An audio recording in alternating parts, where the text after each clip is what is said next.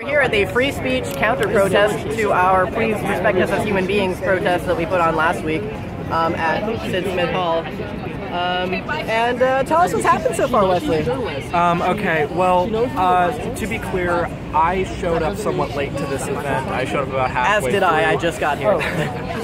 um, what we had was over there, um, the uh, right outside the doors, um, the uh, the rally for free speech, as they called themselves, had set up um, a, a microphone and sound system. Um, just by um, close by, we had set. Excuse me. Uh, prior to my arrival, we had set up um, our own sound system. We were blast, we were blasting harsh noise, as I understand it, um, in an effort to basically to create a sonic disruption, which is a tactic that I've seen used effectively before, um, not um, and. Um, and I'd seen that used effectively before. I'd say it was mostly effective here, aside from some. I believe that the equipment was damaged by um, one of the Nazis who showed up. There were, as I understand it, there were neo Nazis and white supremacists who showed up. I believe that some of them may have. I believe that most of them were gone by the time I arrived. I didn't see any.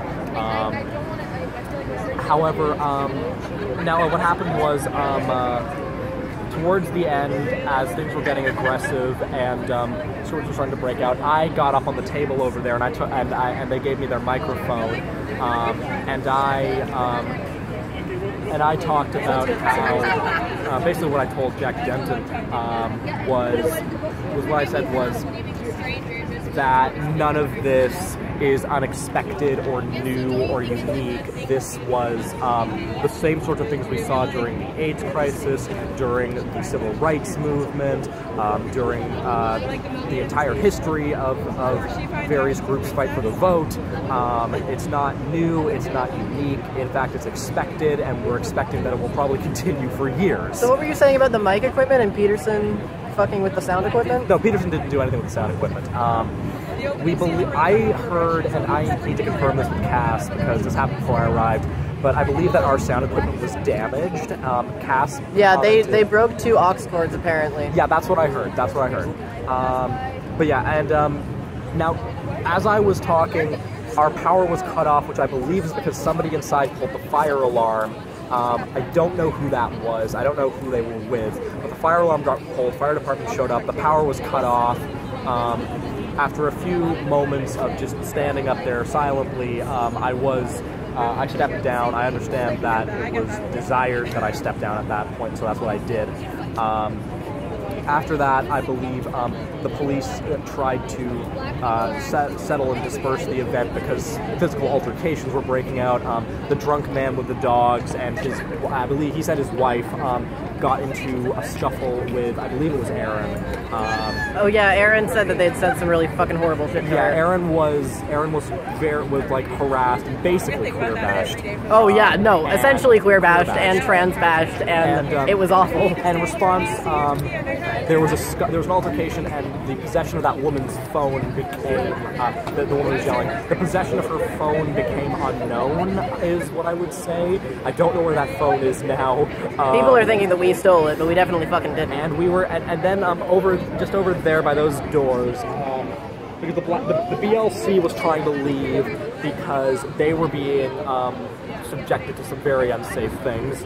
Um, they, and uh, my gratitude to them for, for coming out. Actually, they uh, they broke off their protest of UTSU to come and stand with some people, with, with, with us, and indeed some people from UTSU. So um, solidarity does work.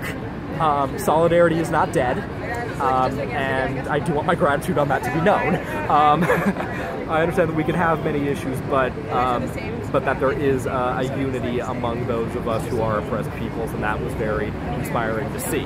Um, because I, I had feared that this might not happen. Uh, clearly, those fears were unfounded, um, and I'm very, very grateful. I don't have a lot of recording time left, so whatever. Sorry, shit. No, okay, okay. so I was over there by those doors, and um, there was an altercation going on between the BLC and people who were yelling racist things at them. Things like, you should be like Michael Brown, there should be a thousand Michael Browns to, to, the, to the BLC.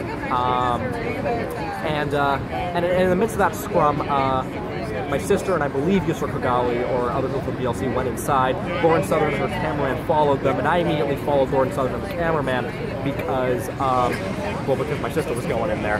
And um, as I tried to enter the building, the guy, the drunk guy with the dogs, slammed the door on my butt um, and tried to, and, and, and like very, like very aggressive, very. He, was very angry about something, and he slammed the door on me while, dra- while, while dragging his dogs along with him. I might add, I, someone who I believe might have been Jack. Um, I think tried to rescue the dogs from the altercation. Um, I made it through. I'm not harmed. Um, I just followed, like they followed uh, through the building and out there. I just followed them. Lauren basically called an end to the event over there on that table. Um, was just like, yay, freedom of speech and all that, and thank you for everyone. And after they dispersed, I jumped up on the table and I uh, and I led a few brief chants, and then I stepped down and the event continued to disperse. And that's what that's what I saw, and that's what I did. Um, and I'm sort of limited by that perspective, but from my point of view, that's what happened. Apparently, the, the neo-Nazi was, was ejected from the event um, by cops. That's what Cass told me. Okay, um, that makes sense. I might speak to Cass about this as well because I want to post this on YouTube. Um, but yeah, if that's everything that we have to say. Okay. Signing off.